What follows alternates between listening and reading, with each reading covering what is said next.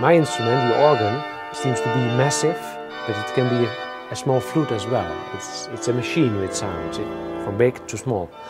And the taiko drum set has the same qualities. It's immense, but it's also very subtle and very direct. And it seems to mingle fantastic. When I made the first strike, I felt something deep and warm, majestic. Uh, I've, I've never experienced before.